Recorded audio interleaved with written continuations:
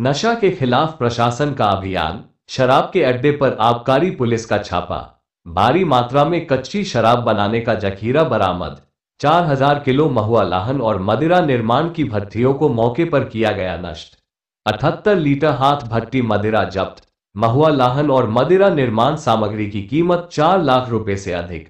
तीन शराब बनाने वाले तस्कर गिरफ़्तार, बाकी तस्कर नाले में छलांग लगाकर भागे। बिजावर ब्लॉक के ग्राम कंजरपुर भरगावा बिजावर के स्थानों पर आबकारी पुलिस की हुई कार्रवाई।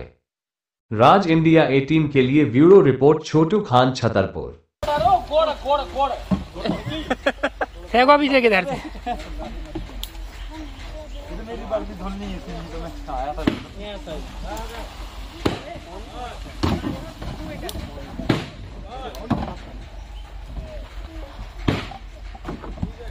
इसमें तो मैं आया था